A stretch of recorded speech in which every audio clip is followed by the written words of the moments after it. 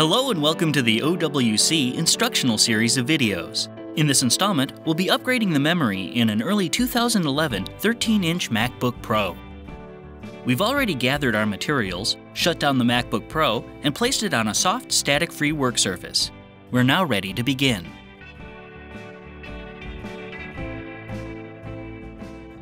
The first step is to close the MacBook Pro and flip it over. On the bottom are 10 Phillips screws. The three on the upper right are longer than the others, so remove those first.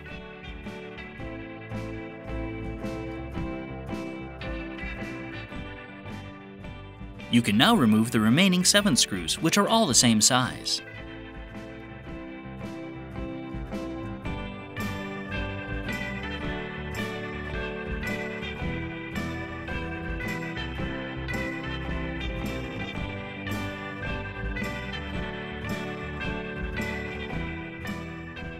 Once the screws are removed, you can lift the bottom off.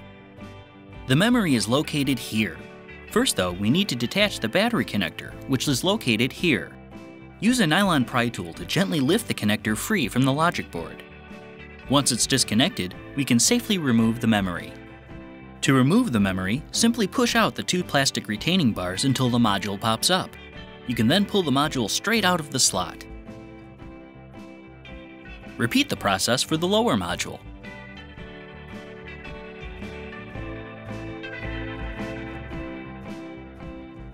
To install the new memory, line up the notch in the memory module with the pin in the memory slot and slide the module into the lower slot at an angle until it's fully seated.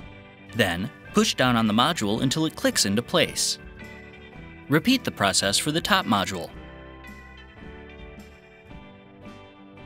You may now reattach the battery and put the bottom cover into place.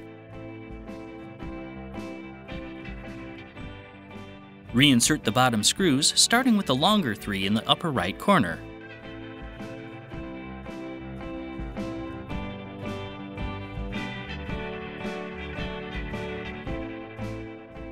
Then, replace the remaining seven screws.